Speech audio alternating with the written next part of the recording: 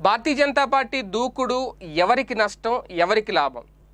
తిరుపతి ఉప ఎన్నికల్లో దాదాపు బీజేపీ అభ్యర్థే బరిలోకి దిగుతారు అనే ప్రచారం జరుగుతున్న నేపథ్యంలో భారతీయ జనతా పార్టీ కూడా దూకుడు పెంచిన నేపథ్యంలో మొత్తం నలభై ఐదు మండలాల్లో నలభై ఐదు మందికి కీలక బాధ్యతలు అప్పచెప్పి క్షేత్రస్థాయిలో పార్టీని బలోపేతం చేసే దిశగా నిర్ణయాలు తీసుకుంటున్న పరిస్థితి ఆల్రెడీ ఉత్పన్నమైన నేపథ్యంలో. ఇప్పుడు ఎవరికి నష్టం ఎవరికి లాభం అనే అంచనాలు అయితే తెర మీదకి వచ్చాయి ఒకవేళ జనసేన కనుక బరిలోకి దిగి ఉంటే కథ వేరేలా ఉంటుంది. కానీ భారతీయ జనతా పార్టీ బరిలోకి దిగింది కాబట్టి ఖచ్చితంగా అంటే వైసీపీ వ్యతిరేక ఓటును భారతీయ జనతా పార్టీ చీల్చే అవకాశం ఉంటుంది అంటున్నారు రాజకీయ విశ్లేషకులు. ఎందుకంటే ఒక పక్క తెలుగుదేశం కూడా ఖచ్చితంగా వైసీపీ వ్యతిరేక ఓటునే క్యాష్ చేసుకోవాలి అని వేచి చూస్తున్న తరుణంలో అటు వైసీపీ వ్యతిరేక ఓటు టీడీపీకి వెళ్ళాల్సిన పరిస్థితిలో దాన్ని చీల్చే అవకాశం భారతీయ జనతా పార్టీ చేస్తుంది అనేది. అంటే ఎక్కువగా నష్టపోయేది ఎవరు అంటే తెలుగుదేశం పార్టీ అనేది ఇక్కడ చాలా స్పష్టంగా చెప్తున్నారు రాజకీయ విశ్లేషకులు. అంటే భారతీయ జనతా పార్టీ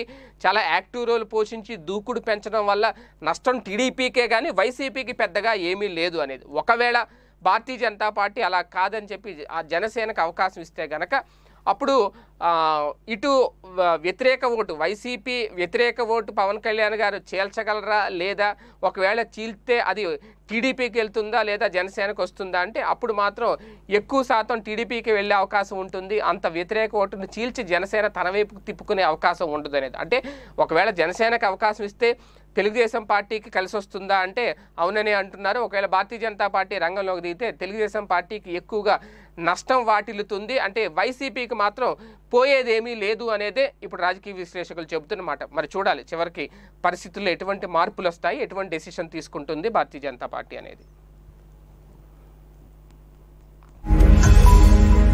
ఈ వీడియో గనుక మీకు నచ్చినట్లయితే లైక్ చేయండి షేర్ చేయండి. మరిన్ని వీడియోస్ కోసం మా ఛానల్ను సబ్స్క్రైబ్ చేయండి.